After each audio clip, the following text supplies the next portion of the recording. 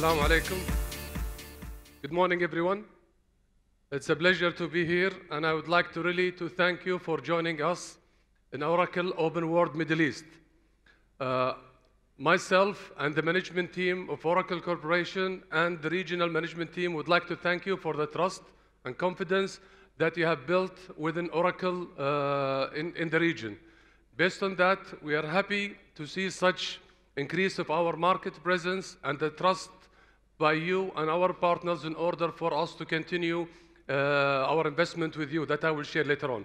Before I go into that, I would really like to thank His Excellency uh, Mr. Mohammed Ghaith, the Executive Director of Cybersecurity Operation at Abu Dhabi Digital Authority, who joined us yesterday as a keynote speaker who emphasized on, on the commitment from the UAE government to the market here and as an appreciation to Oracle presence in, in the region.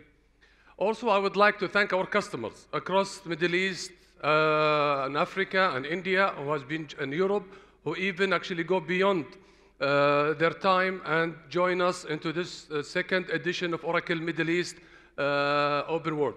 This is the second time we run it in the region, and we're happy to see such uh, presence and attendance from our customers who really take this as an opportunity to meet with Oracle executive and understand Oracle strategy in terms of roadmap, in terms of direction that would eventually help them capitalize on it and get the right presence of it. Uh, Oracle has been present in the Middle East uh, for almost three decades, and we're happy and honored to be here. And as a result of that, we have continued our investment. We have uh, started number of activity within the region from a, capacity building initiative point of view, an academic initiative point of view. We were able to work with many uh, higher education institutions to ensure the development of Oracle skill set that would increase the Oracle ecosystem that would eventually help our customer capitalize on the, uh, uh, on, on, the technology they use. Uh, second, we have uh, uh, announced recently an expansion of Oracle Cloud, public cloud data center. As you know, Oracle has stated the direction of, go, of opening up a public cloud data center, one data center every 23 days. And we're happy to state that we already have established the first uh, Oracle Public Cloud Data Center in UAE, and in two weeks' time, we are going with the first uh, Oracle Cloud Infrastructure Generation 2 in Saudi Arabia that will be launched soon, and that will be followed after that with three data centers, another one in UAE, another one in Saudi, and eventually in South Africa, covering, covering Africa. We are living in the world of data, and it's all about data. And today you will be uh, hearing more information about uh, data management itself. Oracle is, is, is the co-founder again of the database, and we believe that having such volume of data, if you don't have the data to manage itself, you will not be able to capitalize and get the right benefit out of it. Today you will hear from my colleagues who come across uh, the globe to share with you the experience and to share with you Oracle strategy towards uh, the latest uh, solution that we have for the data management. Before I leave the stage to them, I would like really to simply state our autonomous uh, strategy. As you know, we had a breakthrough in the industry with the autonomous database, with the autonomous database, but our clear strategy is really not to have the autonomous to eliminate the human capital, but rather autonomous to, el to eliminate the human error. With this, I would like to thank you, and I would like to wish you a great day, and I wish you all the best. Thank you so much. Please welcome Andrew Sutherland.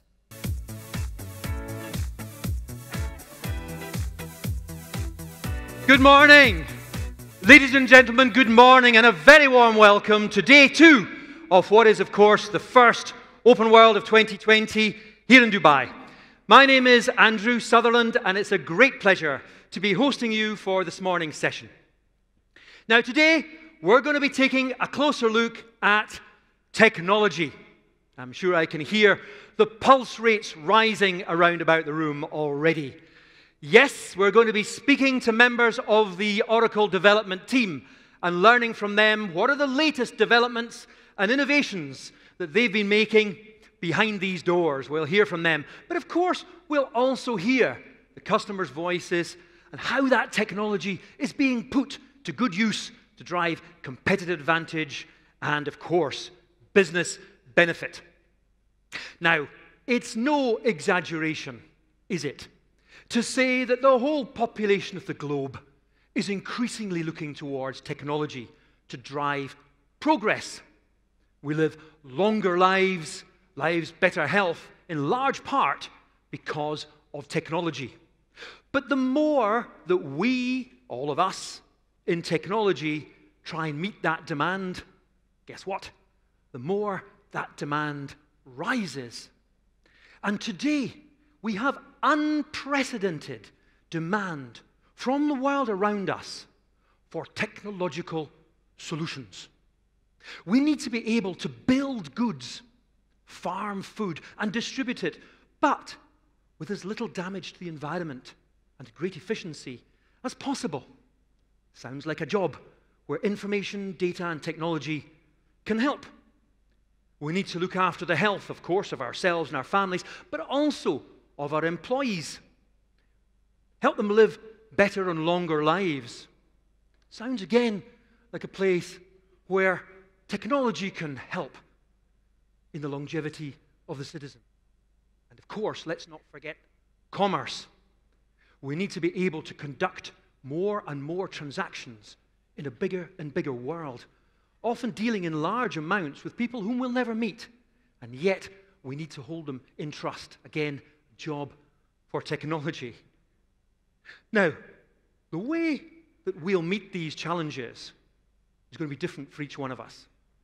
When we get back to our desks in the morning after this session and day, we'll start developing and using and deploying and buying new applications, new business processes, and each one of them will be helping us towards these new goals and greater success and greater efficiency. We'll do it in different ways. But there's something in common. There's something we can be sure of which is essential to success. And our forebears knew this when they were building their systems. We need to equip ourselves with the best possible tools. We can't build the structures for digital systems and digital businesses using obsolete tools from yesterday. We can't build successful wealth creation in a digital world if we're using second rate tools. Now, these tools or enabling technologies may come in very many different forms. They may be something as sophisticated and complete as what we would call a business application ERP, CRM, HCM. They can look after a large proportion of an enterprise's operations. They may be something more specialized, a data management system looking after the lifeblood of the organization, or even the underlying infrastructure upon which we build all of our di- digital business. But we need to be aware of and use and embrace and understand the very best tools to build the very best business. That is why we're here. Now, we're going to hear from the designers and creators of these tool sets, which we can all use. We've got a chance to ask these folks questions. This is the beauty of an open world is we bring these developers to you. We drag them away from their desks in San Francisco, make sure they're here at our disposal. So we're going to listen to them. And of course, we're also going to hear the voices of our customers, some on video and some on stage, about how these technologies are effectively used. But before we begin that exploration, perhaps I can spend literally just five minutes setting the context for what we are about to explore. It's a journey, of course, at the center of which is the customer or citizen or patient, but they're surrounded by technology, providing services to them to lead their lives. Now, whenever technology is involved in any sort of story, you're almost inevitably going to hear the dreaded TLA, the three letter acronym. And those of us in technology here, we know our lives are full of three letter, sometimes four letter acronyms. Now, we've done our best to remove as many TLAs as possible, but some are going to creep up. One of them you might hear of pretty early is a TLA OCI. Now, you can probably guess what the O stands for, given where we are. Yes, it's Oracle. And the CI is cloud infrastructure. Oracle Cloud Infrastructure. Simple acronym, simple phrase. But actually, behind that, every time we hear it, is one of the most profound investments made by an enterprise technology company in the last decade. Oracle effectively went back to the drawing board and reinvented cloud specifically for the enterprise, created a second generation cloud wholly for the needs of the enterprise. Now, the enterprise got some very specific needs and extraordinary needs when it comes to security. Like all of us, the enterprise needs to look after its information. But critically, almost all modern digital enterprises need to look after other people's information also. And that, of course, is an enormous responsibility. Now, for that reason, OCI, the Oracle Cloud Infrastructure, the underlying compute, storage, and so many other services on which we run our digital business, for that reason, OCI's first three design criteria were security, security, and security. We're going to hear more about how that's been implemented. Now, of course, there are many other design criteria for the enterprise performance, cost effectiveness, scalability, and so on. But there's one other one that's often overlooked. We thought about hard when it came to creating a second generation cloud. Anybody who's been alive for any length of time knows that however golden the apple is, however attractive this secure, performant, cost effective cloud might be, or whatever the product is, it's pretty useless if it can't be reached, if it's not accessible. It's one thing having the world's most incredible technology, but if I can't get to it, what's the point? And so, right from the outset at this drawing board, the OCI team thought let's make sure we make this almost trivially simple. Not just of course, to create new applications using Python and Perl and Kubernetes. Of course, of course. But let's make it as simple as we possibly can to take a much loved and much used existing business application and lift it and shift it onto the cloud. Fast, simple, risk free. Let's design that in from the start. Better still, not just lift and shift, move it and improve it as we move. Take advantage of the new services. That's built in to OCI. We'll hear more about that in just a minute. Now, if the infrastructure is the body of the digital business, then of course it's not going to be much use unless there's data circulating around that body to keep it alive. We need to have data being absorbed, data being managed, data being integrated, data being visualized. And at the heart because there's going to be a heart of any circulation system. At the heart of a data circulation system in the digital business is, of course, a database, a subject about which Oracle knows a thing or two. Now, we're very privileged this morning to have a member of the Oracle development team here, actually hails originally from this region, who's been a member of the Oracle development team for 30 years. I'm going to take advantage of him being here. And he's going to describe to us not only the autonomous database, the world's first, I'm sure not last, there'll be plenty of copies, I'm sure, but the world's first autonomous database looks after itself. Not only will we be discussing that, but also the issue of dealing of the ever burgeoning, prolific new formats in which we manage our data in an internet world. We're all very familiar with the rows and columns of tabular information. But when we have IoT in the web, we've got IoT, spatial graph, and so on. We've got send window open, window open, door closed, key value pairs. It's all digital. We can store it in a relational database if you want to, but it's not the most efficient way to do it. This leads to temptation to build multiple data circulation systems, multiple data management systems in one digital business. It's not a good idea.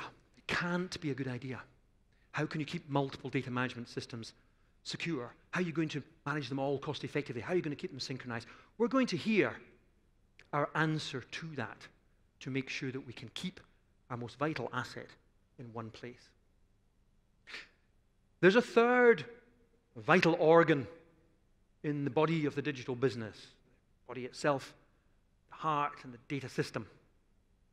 Of course, there's that organ between the ears. We'll form ourselves in the future, as we do today, into organizations, into teams. We'll call them governments, we'll call them corporations, companies, enterprises. We'll form ourselves into teams. But these teams and groups, they'll need to make decisions. They'll need to know do we invest here? Do we invest there? What do we do in this situation? Will we, in, will we do this? Will we do that? Where's the brain going to come from in the digital business? It's going to come from the same place that always has, that always will. It'll be us. Human beings, we'll run these digital businesses. Of course we will. But we'll need help. In the same way that our forebears needed help as they tried to plow larger and larger fields and fish bigger and bigger oceans, we'll need help as we make decisions in a digital world. We can't meet every customer ourselves. We can't hear what every customer, we can't remember every single patient we ever treated and what the outcome was from that. We can't think every customer we ever made an offer to, how was that offer received? We can't do that. But machines can. They can watch, listen, and learn from what we do and the decisions we make. Then they can use that learning to advise us, to suggest who might be the next best person to employ in that role, which might be the best vendor from whom we should buy that product. Intelligent business applications built upon OCI and autonomous database are revolutionizing the whole concept of managing organizations by providing intelligent suggestions at every decision point within the organization. Now, we are going to go through all of these the OCI, the autonomous database, and of course, these intelligent business applications. So let's begin by going back to um, the OCI piece Oracle Cloud Infrastructure. We're building out, as you heard from Abdul Rahman, we're building out our infrastructure across the globe. In fact, we're building data centers at the rate of one every three weeks.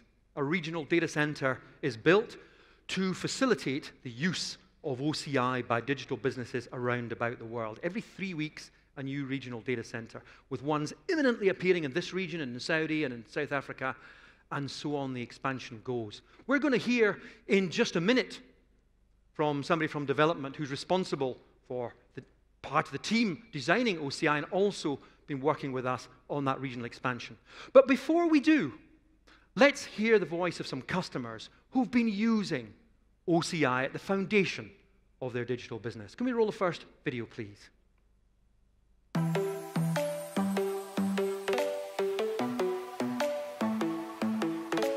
Our move to the cloud was primarily driven from the perspective of our need for flexibility, scalability.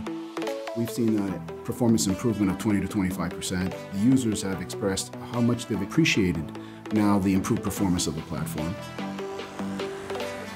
Using the Kubernetes installation enabled us to drop that processing from one week to eight hours, which has been fundamentally important. Exadata is really the only solution that is able to provide them with the speed and the high ability that they need to manage those critical operations 24 by 7 in an environment that really can't afford any downtime. We really felt that for the e-business suite stack, that OCI was the perfect story for us of better, cheaper, faster. The machines are performing way better than the hardware that we were running on premise before. Our interactive response time on average is 0.07 seconds. They say we are their fastest performing JD Edwards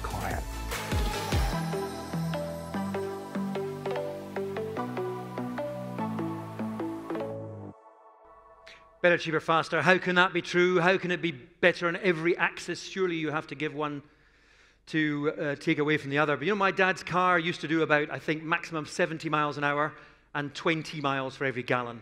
Mine can do 140 miles an hour and does about 60 miles for every gallon minimum. How, how can it be both? The answer simply is, of course, better engineering. That's how we've done it. Now, when we talk of Oracle engineering and Oracle development, we always think, I'm sure many of you think of San Francisco, the Golden Gate Bridge, the beauty of the bay, people sailing, and the attractions of the sunshine and surfing, which of course is very much true in San Francisco. And when we set up the OCI development team to reinvent the cloud, we thought we want these folks to work hard, not surf and sail in the bay. So we set up the team not in San Francisco, we set it up in Seattle, where it rains so they have to go inside and work hard. Makes me think the next development centre for Oracle ought to be in northern Scotland. Ladies and gentlemen, please welcome, fresh from Seattle, rainy Seattle, Andy Fenslow. Andy. There's your clicker man. What? I'm OCI Andy, and apparently I'm here to talk about the body. So, first, a, a question for all of you. How many of you, with a raise of your hand, have already moved your core enterprise applications to the cloud, to a cloud? Doesn't have to be our cloud. How many? How many of you, over the next few years, would like to? Oh, come on. Really? All right.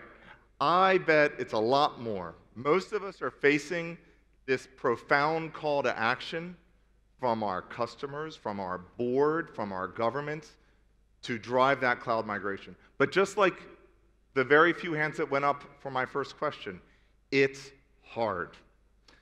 There's a reason why so few of you feel confident and ready to move to the cloud.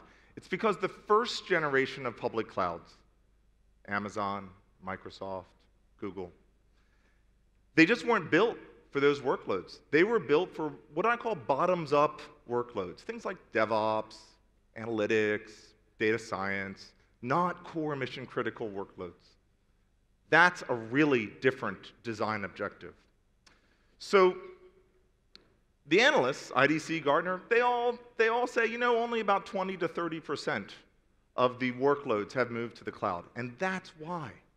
So for Oracle we had to really think about what do we need to do differently to move these core enterprise applications, the mission critical databases, all the things around that confidently without compromising your on premises service level agreements.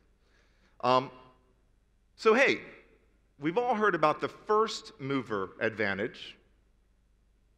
Well, in our case, there's a late mover advantage. Because we've come in later to this cloud party, we've been able to take advantage of some fundamentally different technologies that were available four years ago as we designed our Gen 2 enterprise cloud that were not available for the Gen 1 cloud providers.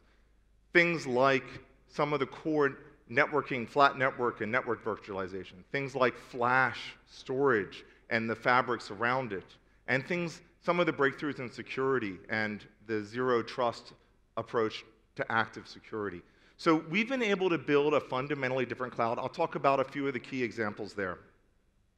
Um, we be believe that you should be able to move with confidence to the cloud without fundamental compromises. You have service level agreements today on prem. Why should you change those as you move to the cloud in the future? So, what's it good for? Let's, let's talk, let's dig in. First, we have seen over our first few thousand customers, few thousand customers, a broad mix of workloads. One, of course, is our Oracle applications, um, eBusiness Suite, JD Edwards, PeopleSoft. Two, many of the custom applications and workloads around that, using some of our traditional tools like WebLogic and Java, uh, but also cloud native workloads. Also, performance intensive workloads. We'll talk a little bit more about that later. But high performance computing, things like oil and gas, We offer profound differences versus what you can get with our GPU and RDMA technologies versus other clouds. But we've also got one major opportunity that none of the other cloud vendors have, which is our Fusion applications. So for all of you that have already moved to some of our software as a service options, like Wendy will be talking about, all of that is running on this second generation OCI. That gives us profound scale, global reach, and it's a lot of why we are able to expand our region coverage as quickly as we are, because we have that as the wind in our sails. Now, there are a few key technology enablers I want to offer up as examples of why we can do things that none of the first generation public clouds can do. Let's start with networking. Um, we have something that we call off box or off host network virtualization. That means a couple things. One, it means that uh, you have security. As Andrew said, our first design objective and our second and our third was security. So no one, including us, gets onto the hosts that you are using for your workloads. All the management, all the control that we need as the cloud service provider is done off host. We don't have hypervisors and all the things that the first generation cloud vendors do. It also gives us extraordinary performance, consistent, predictable networking performance that the others just can't match. And we don't have mixed uh, oversubscription on that network. So you will always get consistent, extraordinary networking performance. Another example is um, on the, the way that we are enabling your traditional data management solutions. These are, as Andrew said in his analogy, this is the heart. So when you move to the cloud, you probably don't want a heart transplant. You've got enough other things going on with your body. So we're the only public cloud that has an infrastructure that can natively support things like Oracle RAC, Exadata, and of course, the truly unique Oracle Autonomous Database. Those can only run on Oracle Cloud. And lastly, I want to double click on security again, because that is where we started and where we finished with Oracle Cloud for your mission critical enterprise workloads. Um, we have a fundamentally different philosophy. So I'm not going to talk about technology, I'm going to talk about philosophy. When you look at the other cloud vendors, if you read the details of their security legalese in the contracts, if there is a security breach, if there is exposed data for your customers, it is your responsibility. And as Larry Ellison said in the Open World San Francisco keynote, for us, it's different. It is our responsibility. That is part of our approach, as it has always been, because we have had your most valuable and sensitive data for over 30 years. So that's the way it has to be for us. So it's a really different approach. Now, with that, we've applied some really different technologies around security. Uh, the basic approach is zero trust, and the basic model that we announced at uh, Open World in San Francisco is active security, what we call uh, maximum security zones. So the idea here is it's always on. It's default. Of course, you can reduce your security policies, but it is default always on. It is holistic. It covers everything. And then you're in control. But this is, this is a, a step towards the autonomous model that we all talk about. Okay, and one last thing, by the way, if you're hearing all this and you think, oh boy, yeah, it's great, great performance, great technology, but man, Oracle's going to charge us a lot. We're not. We've learned a few things. Another advantage of being a late mover is we've seen how the market has reacted to some of the pricing policies that the first generation clouds have. Things like data egress, which are fundamentally lock in policies. If they charge you to take your data out of their cloud, and if they charge you a lot, hmm, that feels like a lock in to me. So we have really different pricing models, and indeed, many, many of our customers have gotten consistently 30 to 50% lower total cost of ownership than they had on prem and 30 to 50% lower total cost of ownership than on other clouds. So it's a very strong cost opportunity. So, many of you, many of you in this audience have already begun this journey with us, and I want to thank you. And I want to thank you for the dozens of you who have spoken or are speaking in some of the sessions.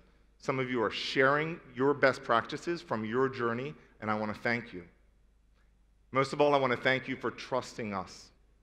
This is your most important workloads and your most important data. We will not let you down. Now, there's another reality here, which is when you're talking about moving to the cloud, you need to look at the same vendor lock in issues as you looked at on on prem. On on prem, over the years, we learned you put the right tool for the right workload. That is just as true for cloud. That is just as true for cloud. So, we have had a very aggressive approach to building out our partnerships for the multi cloud and hybrid cloud reality that you require.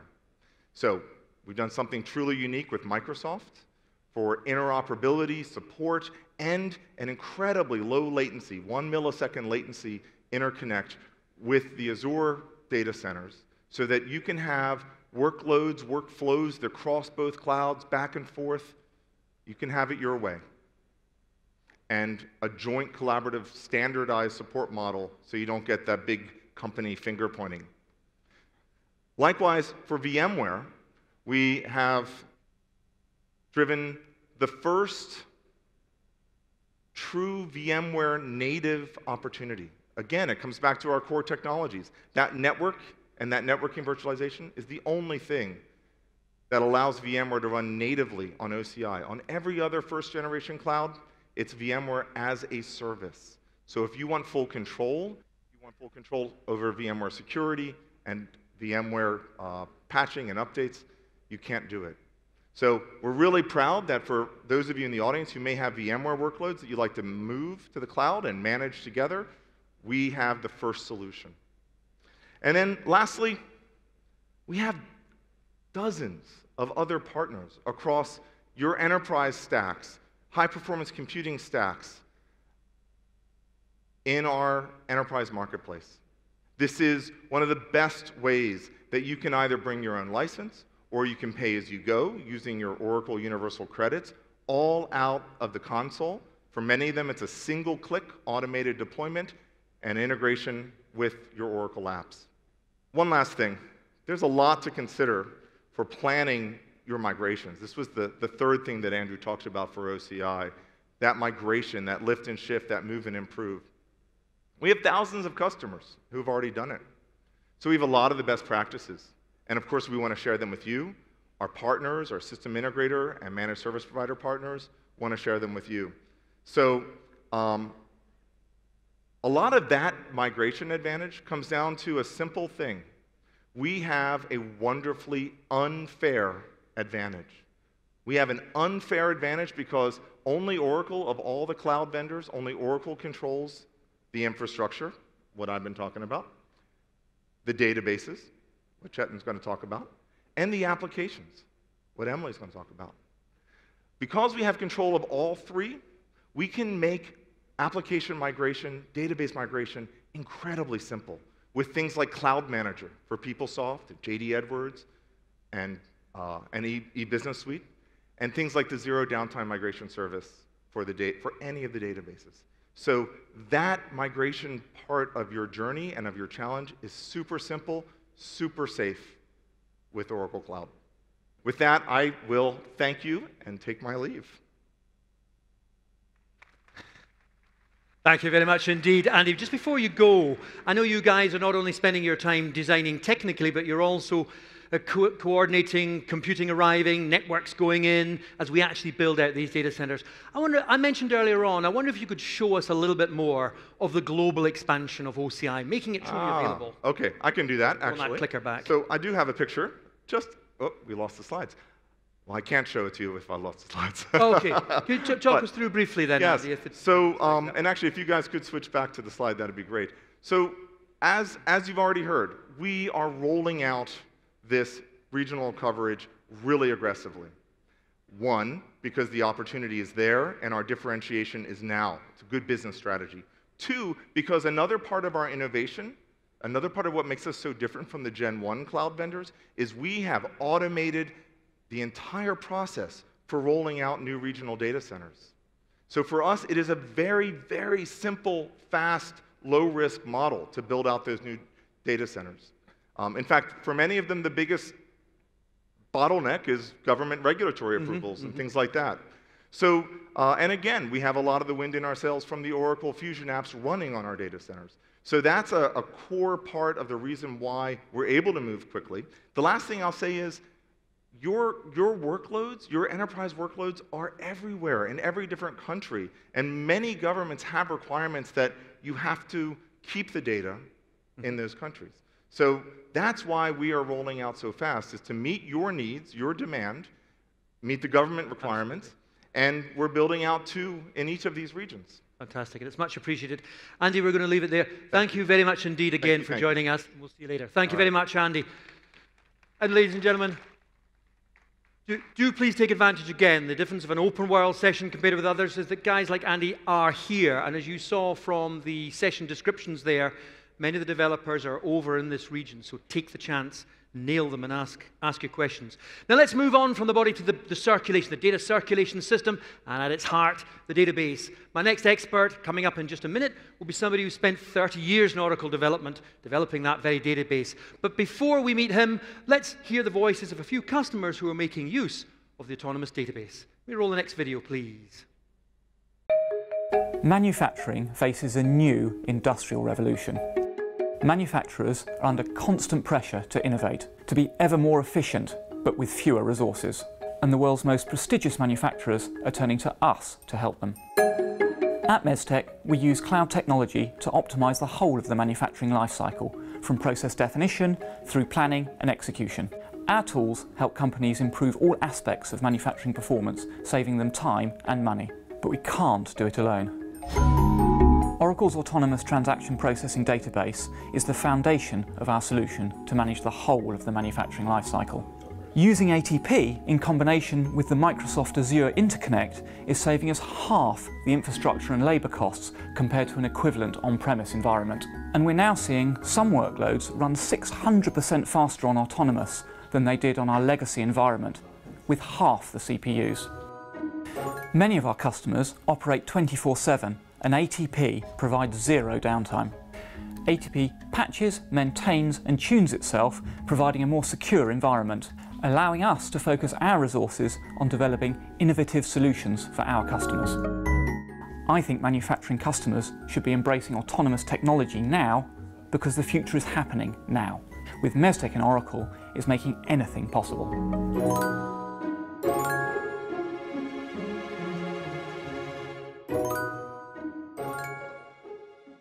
Amazing. I've been in Oracle for 25 years, and it never ceases to amaze me how there's still so many improvements can be made to what's already a very mature and capable technology.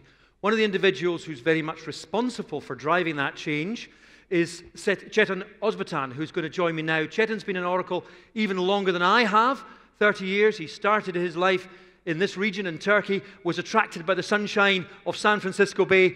Cetin, please, it's all yours. Ladies and gentlemen, Cetin Ozbutun. Thank you.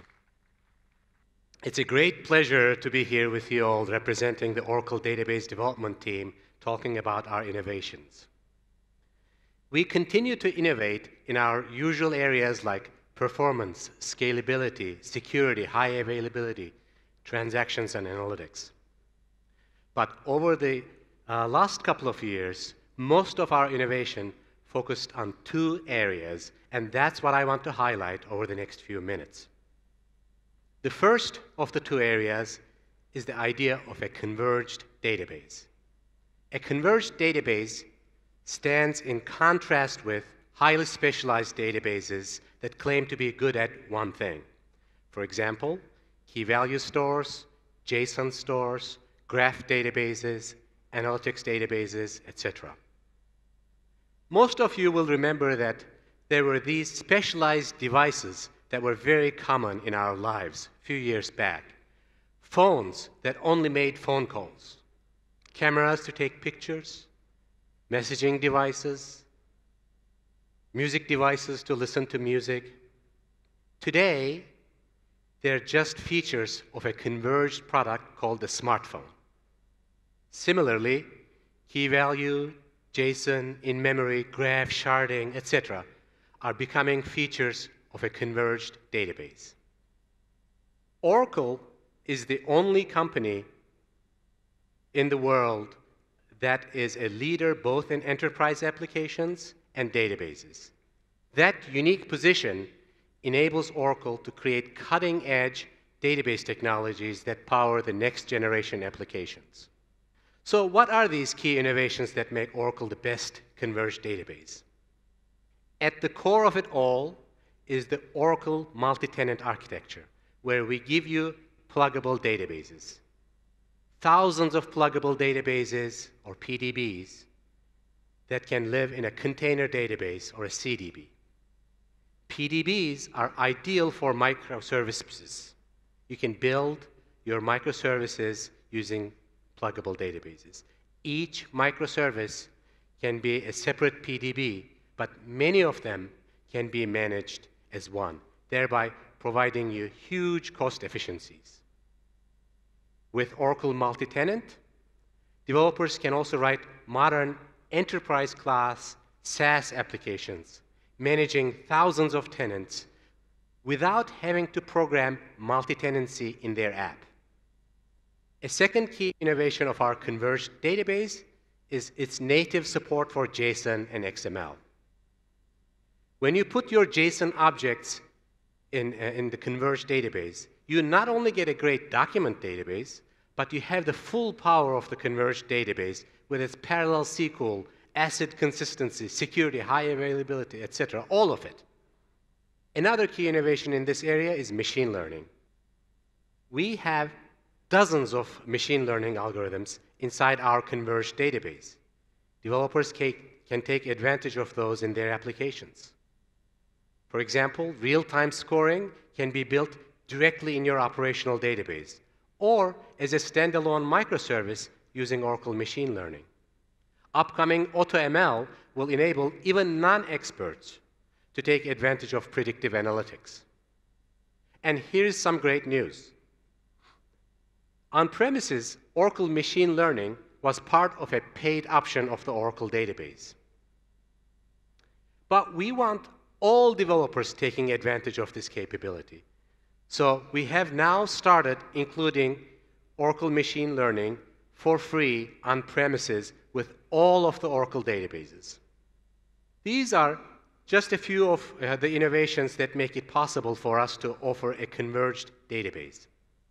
With a converged database, you do not need many databases just to run one application. You can mix workloads, data types, transactions and analytics in a secure, highly available manner. With a converged database, you prevent data fragmentation and copy contagion. You eliminate the initial and recurring database integration costs. So that was the first area of innovation, the converged database. Let's move on to the second area of innovation, and that's the autonomous database. If you're an existing Oracle database customer, what benefit would you get by taking advantage of this innovation? Let's take a look. Autonomous database is truly a revolution in data management for our customers. It transforms the work of our customers from building and maintaining databases to using an autonomous service on modern cloud. It's a very different experience from the on-prem experience of running the Oracle database. Today, Autonomous Database identifies over 85%, specifically 88% of issues without needing a service request to be filed by a customer. If you're an existing Oracle database customer and are spending time with service requests, just imagine you know, getting 88% of your time back. In addition, median fixed time for an autonomous database service request is four times faster than on-prem. It says six times on the slides. Reality is four times. I, I corrected. Why is everything so much uh, better uh, with the autonomous database? The key is automation. We automated everything. We automated monitoring, issue prediction and detection, bug filing, diagnostics collection, patching, and continuous integration. All this automation allows my Cloud Ops team to run 50 times more databases today than 18 months ago with no increase in team size. Just imagine that for the databases that you're running. The same team size gets to run 50 times more databases, and that's only possible through automation. We have thousands of autonomous database customers today, and they're providing great testimonials. We have customers who say they increase their performance by 12x, 40x, 40 times faster than what they used to run on premises. We have customers testifying that they reduce their labor costs by 2x while at the same time increasing the output by 2x. We have customers who are able to quantify the additional value that they are getting from their existing data. Millions of dollars worth. You can find out more details about these customers and other customers on oracle.com. Thank you for your attention. Very much indeed, Cetin. Ladies and gentlemen, Cetin. Okay, so with the final part of our journey here, let's move on to the brain. And before we do, as always, let's hear some voices of the customers who are using Oracle's intelligent business applications. Can we roll the last video, please?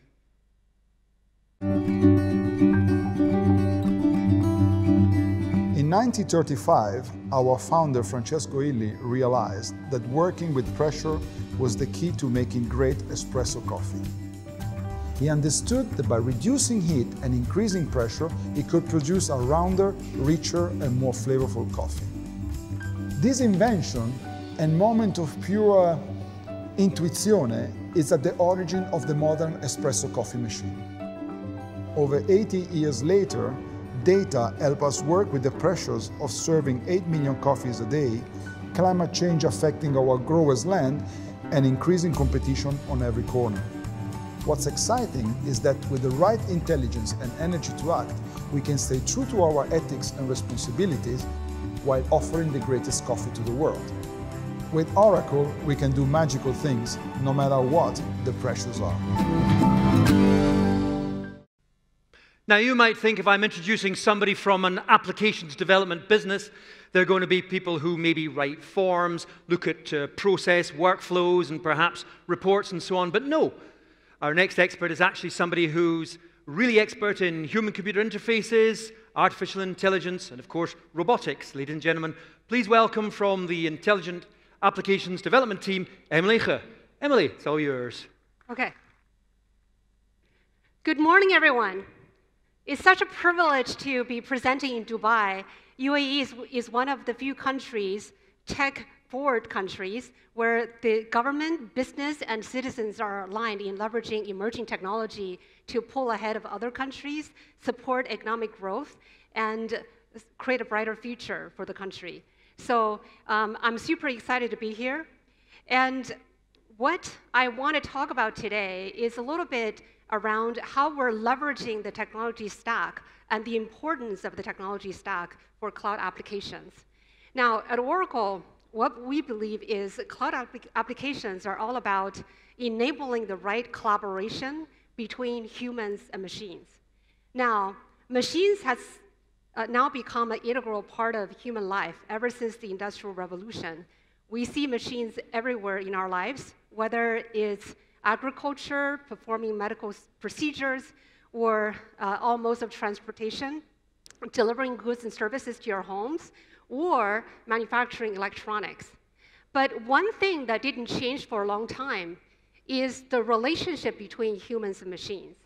It's very much a relationship between a master and a slave. So you tell the machine exactly what to do, and the machines will perform these processes or steps until you tell them to stop. Um, so the relationship between humans and machines literally hasn't changed for hundreds of years. Now, in the last few years, that has started to change. And this is because of the advancement in voice devices, in um, natural language processing, in machine learning, in artificial intelligence, in conversational user interface. For the first time, we're able to engage with machines like human beings. So you can use your voice to talk to machines, and they are starting to think like machines. Uh, they're starting to think like humans, and they're starting to learn like humans. So a few examples of how this is unfolding in our day-to-day lives. In the US, for example, it's projected that there will be more than 870 million voice devices by year uh, 2022. That's only two years from now. So that is three voice devices per person. That's a lot.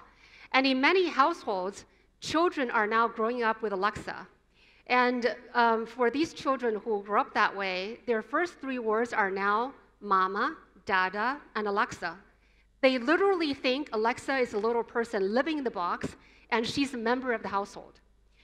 One of the th my favorite things about my mobile phone is um, it tells me every morning when I should go to work because it's synthesizing my calendar data and the real-time traffic data. I'm a huge fan of the Fitbit. I'm wearing it right now. And I feel like my Fitbit really cares about me because it knows exactly how many steps I'm walking and it's giving me these inspirational messages like, you're on track, good job, and um, is giving me recommendations on what exercises I should be doing and how much I should be sleeping. So across all these different examples, there are three things I want all of you to notice. The first one is, for the first time, we can talk to machines like you're talking to another human using our natural language, whether it's your voice or your text. The second thing is, machines are starting to think like human beings, and they are acting like a, an assistant or a friend, and they are giving you recommendations on what actions you should be taking. So essentially, the relationship between humans and machines is now evolving to that of a digital assistant instead of a digital slave. The third thing is this has profound implication on the way we design software. In the past, you have to prescribe the business processes to software and ask the software to perform the kind of processes you wanted to perform. Now, you can put input data into the system, and the machines can learn by itself if you specify the kind of output you're looking for. This is a brand new way of engaging with software and designing software. So the interesting thing is, this is already having a profound impact on the relationship between technology and people, as well as human and, humans and humans. And it's starting to change the expectation from your employees and your customers in terms of the product and services you're providing. This year, we did an interesting survey around AI at work. So it's a global study. We went to survey 8,370 employees, managers, and HR professionals. And the findings are fascinating. So the first thing is 50% um, of the people globally and 62% of the people in UAE are saying they are already using some form of AI in the workplace.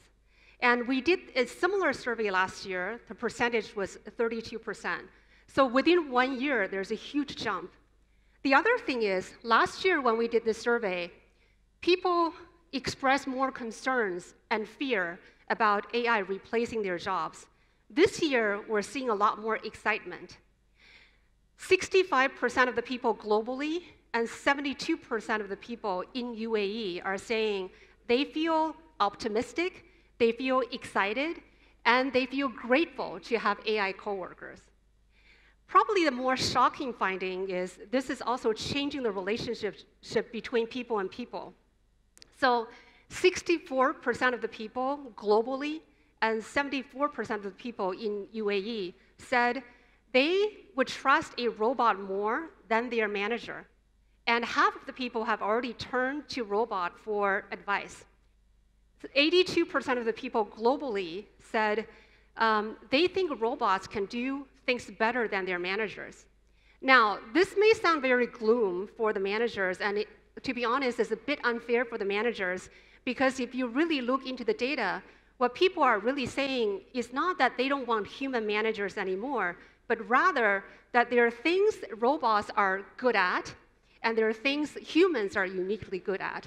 So, for example, in the UAE, people are saying robots are uniquely good at maintaining a work schedule, solving specific problems, providing unbiased information to employees. And what they would rather have their managers focus on are human things. For example, showing empathy, understanding their employees' feelings, providing personalized coaching, as well as evaluating teams' performance and cultivating a stronger sense of culture. So the reason I want to talk about all this is one of the things we do at Oracle is we want to invest in emerging technology on your behalf, and we want to look ahead into the market to see what trends are shaping the expectations of your customers and your employees so we can proactively invest in technology innovation to help you prepare for the future. So how exactly are we doing that? The first thing is we have a complete suite of applications ranging from CRM, sales service marketing, to ERP, financial, supply chain manufacturing, and project procurement, uh, also HR, benefits, talent management, recruiting, the entire suite of applications. And all this is possible by leveraging our underlying technology, different data type, the common data model that has different data types, blockchain in the database, with a single set of development tools that makes it possible for us to create this fully integrated suite of applications. The other thing we focus on is data. In Oracle Cloud Applications, um, not only can we process your transaction data and operational data from your business applications, but we also enrich that data with third-party data. So in 2018, we bought a company called DataFox, and um, what DataFox provide is the ability to accommodate third-party data, including business data about the partners you're doing business with, or consumer data, whether it's behavioral data or demographic data, or uh, product usage data and engagement data. DataFox um, scours 50,000 different data, digital pieces of information every 30 minutes and five, six million websites every month. And all of this is we're using to tune our machine learning algorithm into actions and recommendations. When we moved our applications to the cloud, we also accelerated the pace of innovation. So every quarter, we're releasing new functionality, we're releasing feature enhancements, and that's fantastic. Uh, for example, lately we released things like process manufacturing and a student finance system, as well as joint venture accounting, all of which are very exciting. But if you are on cloud applications, you will also get the invisible updates av available in our technology stack. Whenever we make enhancements on our autonomous database, our applications will run more reliably, run faster, and become more secure. And all of that enhancement you get for free simply because your applications are sitting on top of the technology stack. Now, how does this all come together? We talked about SaaS applications, we talk about our technology stack, we talk about data. So how do you experience the power of a technology?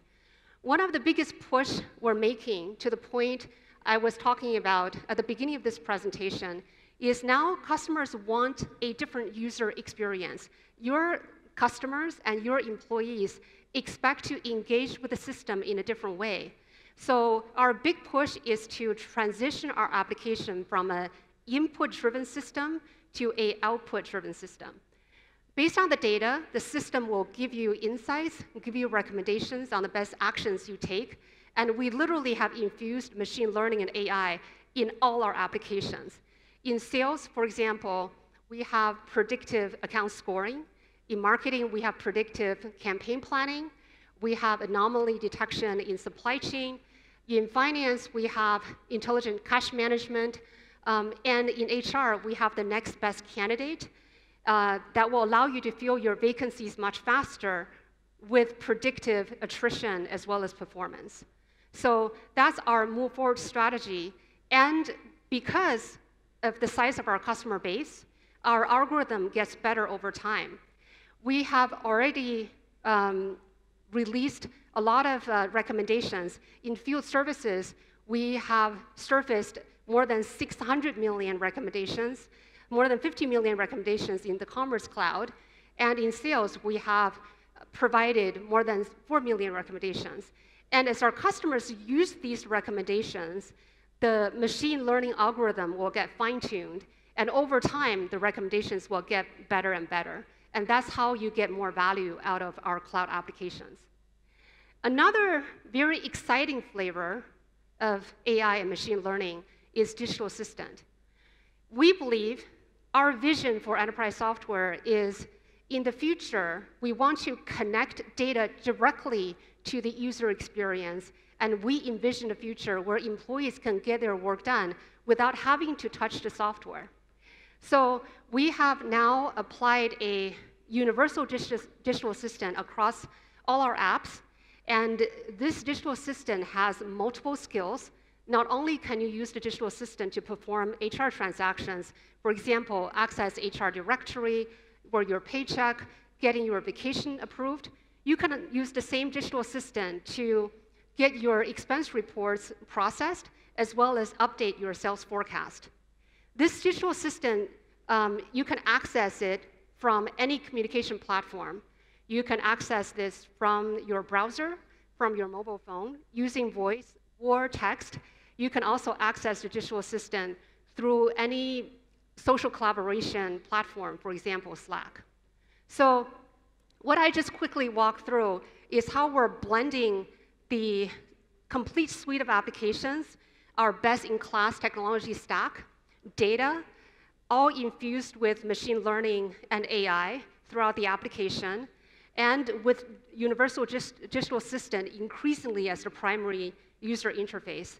We're extremely confident that we are the right technology partner for you to work with as you move towards the future, and we very much look forward to wor working with all of you to achieve success in the cloud.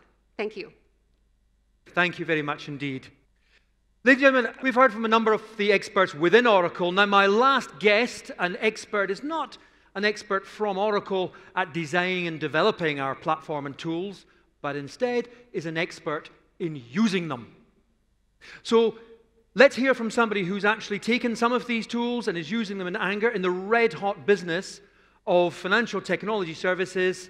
Ladies and gentlemen, please welcome Eric Brieva. Thank you so much for joining us. Eric, do take a seat. Come on, sit down. So, Eric, you've been using many of the technologies we've just been uh, hearing about. And you're using them in an area of uh, technology which is really red hot in financial technology services in Strands, your company.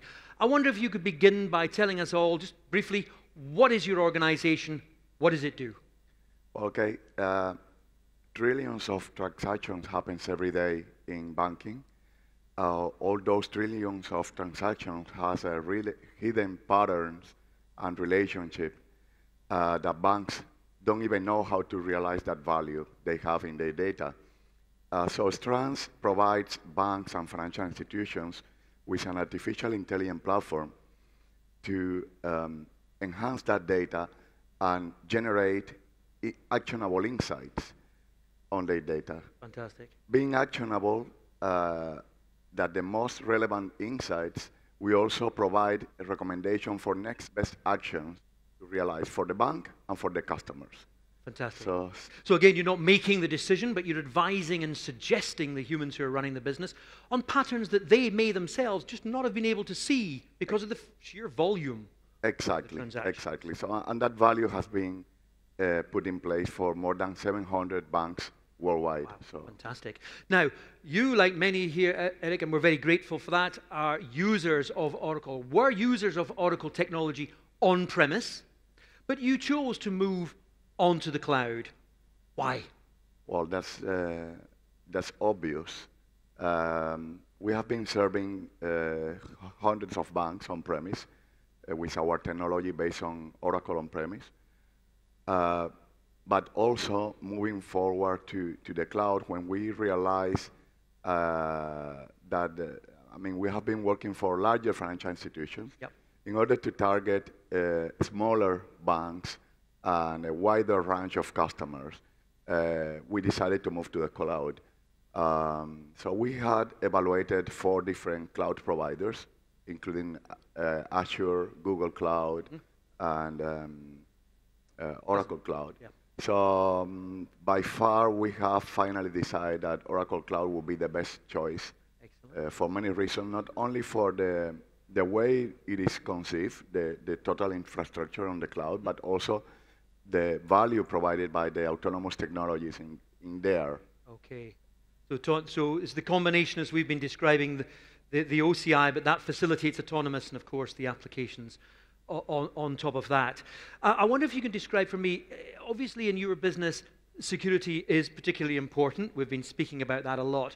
Can you tell us, eh, from the eyes of a user, just how does Oracle technology help you manage what is very sensitive information? Yeah, actually, uh, of course, we as an organization complies with a lot of security uh, standards like the different ISOs, uh, data protections, and, and business continuity and so on. But um, the way the Oracle platform is, is structured, where it can uh, protect the data even for, for the customer, Yeah. even for, for the bank, even for the, uh, for the provider of the technology, uh, actually made us uh, sleep very well at night every, every day. And, we, and I can say that after having more than 700 implementation with Oracle. Yeah, So that- we have never had a, Helping you sleep at night is very important. So this is the isolation of data which comes as, a, as courtesy of the underlying infrastructure. Last question, Eric. The journey. Um, I spoke earlier on, one of the design principles was to try and make it easy to move to the cloud. Could you talk about how you went through that process, what you had to do to actually get there? Yeah, the first we did was to move all of our information technology to the cloud. So we, we did, I mean, we were testing it for ourselves first. So we implemented it in four different clouds. Finally, we chosen Oracle, which was the one that performed better than the others. And then we had uh, implemented the first uh, bank, which is a Self Bank in Madrid. Okay. Actually, one of the best main advantages that we have seen by using Oracle Cloud and Autonomous Database is the fastest implementation times. So we have done this project for this bank uh, in two and a half months, which has been by far uh, faster than any other implementation we had them Isn't it done so before. important? It's one thing having fantastic technology, but again, it needs to be accessible and usable. Eric, thank you so much for joining us on the stage to describe your experiences. Pleasure, Andrew. Eric Abriva, thank you very much indeed. Thank Eric. you. Thank you. Thanks. And so, ladies and gentlemen, our journey is complete. I spent a few days at the change of the year between December and January indulging in my favorite hobby, which is home automation. Not just a couple of Amazon Alexas. I've got every light bulb in the house has got a Zigbee address. Every window and door is connected. And I was spending my holiday days enjoyably programming all of that until I discovered I was spending about 70% of my time looking after the old Linux PC, which I was trying to run this on. So, of course, I thought, what an idiot. Why don't I use the Oracle Cloud? And I went and took out what's called a free tier. That's free, F R E E. I know it's difficult for a Scots person to say, but it's a free cloud. And you can log on and have for life access to Oracle's, the infrastructure you've been hearing about, and credit access to a wider range of tools. And in no time at all, I was up and running with OCI and was able to concentrate on annoying my wife by turning on and off lights at random in the house. Took away the drudgery of managing Linux. But it reminded me, in closing, of one of the most important views that's been seen in, in the history of humankind. I see, I know. And I hope that we've helped you see and know some of the tools and technologies that are available to you.